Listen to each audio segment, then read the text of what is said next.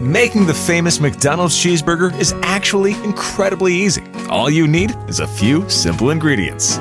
Salt, black pepper, diced onion, ketchup, American mustard, pickles, ground beef, American cheese, and a cheeseburger bun. Step 1. Making the cheeseburger patty. In a large mixing bowl, add 500 grams of ground beef, add salt, and ground black pepper. Thoroughly mix together.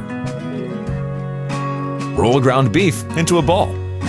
Place the ground beef onto some baking paper. Using a spatula, press down flat until it's about 1 inch thick. Feel free to adjust the thickness to however you prefer. Step 2. Cooking the cheeseburger. Place a large frying pan onto your stovetop over medium heat. Add a splash of oil and heat for 1 minute. Place down your cheeseburger patty. Cook for 60 seconds, then flip. Add butter. Add butter, add butter, add butter, add butter, add butter, add butter, add butter, add butter, add butter, butter, butter, add oil. Continuously stir for 5 minutes. Season with salt.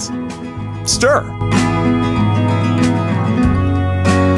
Once the cheeseburger patty is cooked to your liking, remove from heat. Step 3. Constructing the cheeseburger. Cut your burger bun in half. Place down that patty.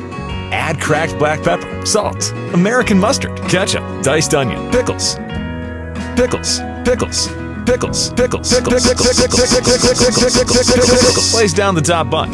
Enjoy.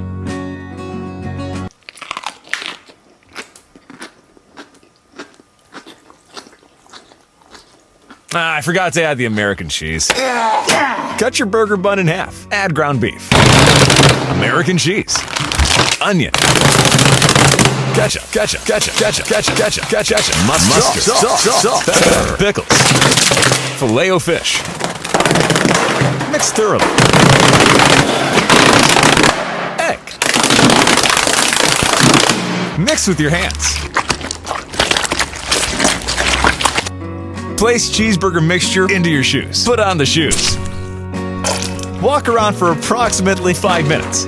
Take off the shoes. Scoop out one handful out of each shoe and place it onto the bottom burger bun. Place down that top bun. Perfect! Look how delicious this looks. It looks identical to a McDonald's cheeseburger. yeah, me, I cannot wait to tuck into this. Enjoy!